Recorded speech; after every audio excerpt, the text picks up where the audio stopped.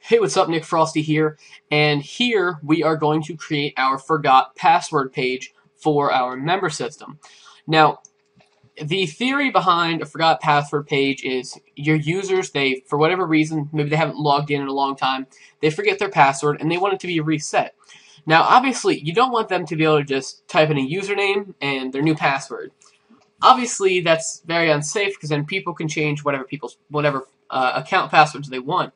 So obviously you need some sort of validation to be able to test uh, and to, to, to detect whether or not that user that owns that account is trying to reset their own password or if someone else is trying to set uh, reset that password. So what we're going to do is we're going to check for the user's email address and their username and then we're going to send an email with the new password, a randomly generated password. We're going to send an email with that password to um, the email that's tied to that account. And then from there, they can access their email, get their new password, and then uh, and do and uh, then log in. So I already have the forgot the basic uh, forgot password page here created, uh, and we just have a PHP code block in here. Um, but on the index page, I'm just going to create another link to go here.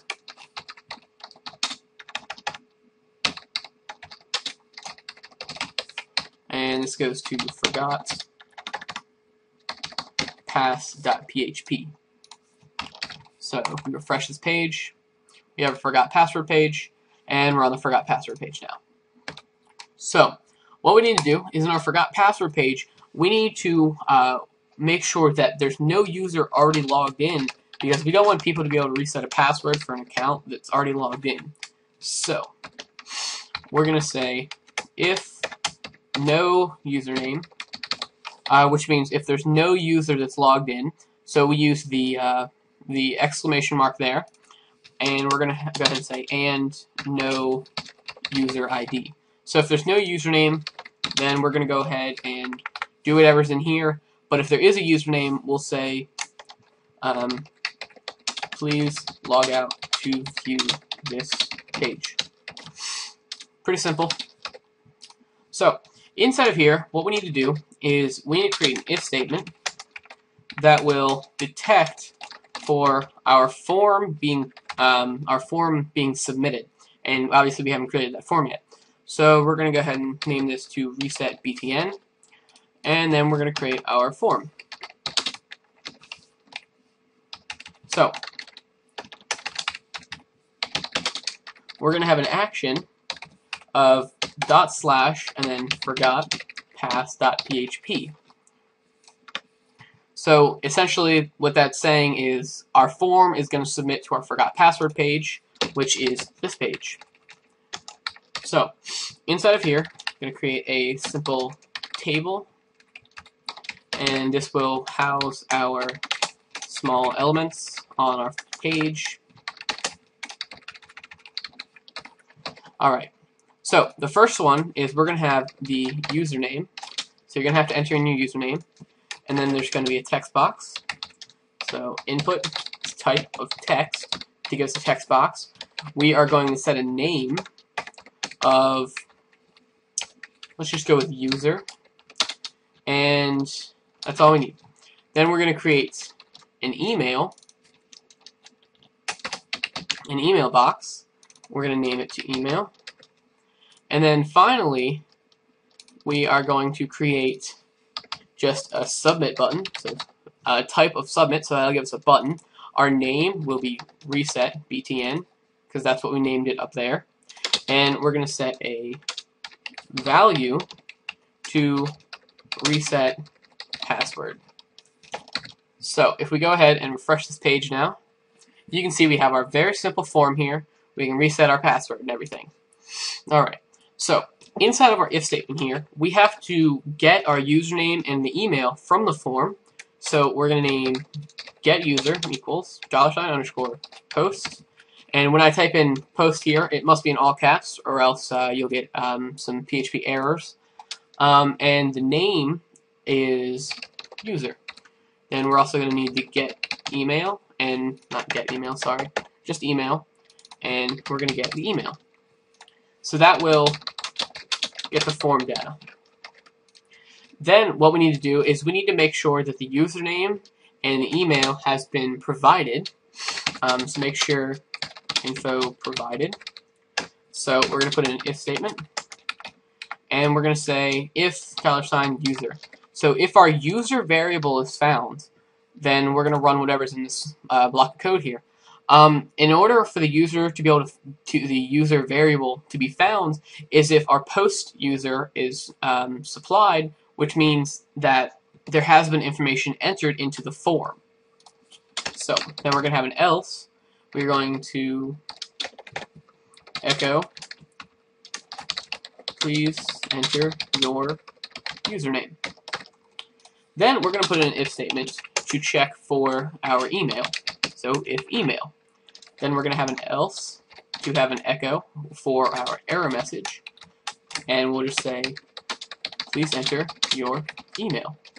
Pretty simple, pretty straightforward. Um, the next thing we want to do is we want to check for a valid email address. Now, as I've gone over in a previous video on this tutorial series on the member system, um, is a valid email contains um, a few different things. So, so a valid email contains uh, must be pretty much around the length of seven, so a seven character minimum. So we'll say str len. So that will give us the length of a uh, of a of a uh, a variable, and in this case, we're going to use the email variable. So if the length of the email variable is greater than seven, so essentially if it's six or higher, then this will be valid. Then we want to say and, and notice that I'm putting each of these elements inside their own parentheses, and then the entire if statement has its own parentheses as well. The reason for that is because um, it makes it easier to check for the existence of all of these items. So it'll say if this is uh, if this is true, then we want to say and, so two and sign, ampersand. Then we would have our second statement. So our second statement will use the str str function, which will allow us to check through a variable for the existence of a character, in this case an at symbol, because all emails must have an at symbol in them. Then we want to have our ampersands again, both of them. Then we want to use str str again. We want to search through our email variable, but this time we want to search for a period within the variable. Now this is some basic authentication um, uh, or validation for email addresses because an email address must have all, all three of these to be valid. Um, so if it's not valid, we want to have the message say, please enter a valid email address. So, if a valid email address has been entered, what we want to do now is we want to connect to the database. So we want to uh, require, and we want to require our connect file, which in this case is in the current directory, so dot slash, and then connect.php. So that will connect us to our database, and we're going to go ahead and disconnect from the database to add a little bit of security in here. So what we want to do now is we want to check through. Uh, we want to check our database for our username to make sure the username is in the database, and then we want to get um, the email account tied to that username, and then we want to make sure that the email address entered is the same as in the database. So we're going to create a query. So MySQL underscore query. And inside of here, we want to say select asterisk or select all from users, which is our database table name. We go back in here, we have our database table name of users. Then we want to say where username equals, and then two um, single quotation marks, and then user. So what this will allow us to do is check through our database and make sure our username is found. Then we want to use the MySQL numRows function to determine how many rows have been returned uh, from our query. And if one row is returned in our query, that means that that means that the username that's been entered is found in the database. But if it returns zero, which means the username is not in the database, which means obviously we don't want uh, to allow them to change their password or the password for that account rather. So um, our if statement will say if numRows equals equals 1. And our echo statement or our error message that will be displayed will be uh, the username was not found. So that works. So next we what we want to do is we want to um, get the info out of the database. So get info about account. Um, and we're going to put all of this in sort in an array using the MySQL fetch a soccer fetch associative function. So MySQL underscore fetch underscore a double SOC. And then inside of here, our first parameter and our only parameter is our query. So what we want to do now is that gets all the information out of the database and puts it into an array. So we have to be able to get that information out of the array. So to do this, we need to grab the um, email out of the database, or this will be db email, and this will be equal to dollar sign row, and then we have our brackets that we use for the post uh, array there, and then inside of here we put email. So this will allow us to get the email address for this account out of the database. So what we want to do now is make sure the email is correct. So we're going to put an if statement. And our if statement is going to say if email, so our email address from our form equals equals, that's two equal signs, equals our DB email. So if our email addresses are the same, obviously the user's entered it correctly, in which case we want to run whatever is in here in this block of code. But if it's not correct, we want to put an error message saying um, you have entered the wrong email address. So, inside of this block of code in here, get rid of this extra line here, Inside of here, what we want to do is we want to randomly generate our new password for the user, and then we want it to email that to them, then they can reset their password from there. So, so to generate our random uh, new password, what we're going to do, so generate password, what we're going to do is we're going to create a variable called pass. And we're going to set it equal to the rand function in PHP.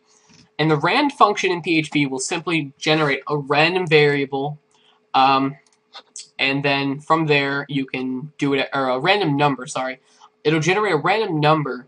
Um, so we want to set a range for this, um, and actually we don't need any parameters for the random function. So after we have created our random number, what we want to do is we want to MD5 encrypt that random number. And the reason for that is because instead of having a simple number as a password, after we MD5 encrypt our password, or the, uh, the, the number, sorry, after we MD5 encrypt the number, it gives us a string that is numbers and letters, and it's random. So that is a more secure password than just a simple number. So then from there, we have our password. But what we're going to do is we're going to strip it down we're going to use the substring function in PHP to make it a little bit shorter. So what we're going to do is we want to, the substring function takes three parameters.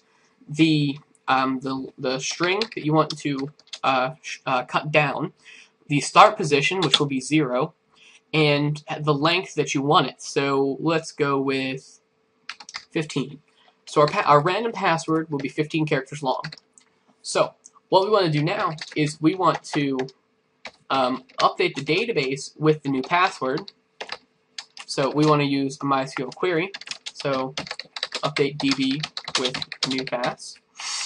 So we want to use create a MySQL query, and we don't need to set this equal to anything.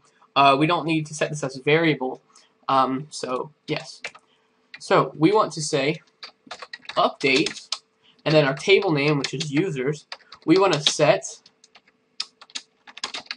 password equal to, and then a password variable, not just pass. We want to be set to password because we need to encrypt our password, and we'll do that in a minute. So we want to set password equal to password, where username equals dollar sign user. So we want to update our database. We want to set our password equal to our new password, where our username is our username is the username from the form. Don't forget to check out my website, follow me on Twitter, and subscribe on YouTube.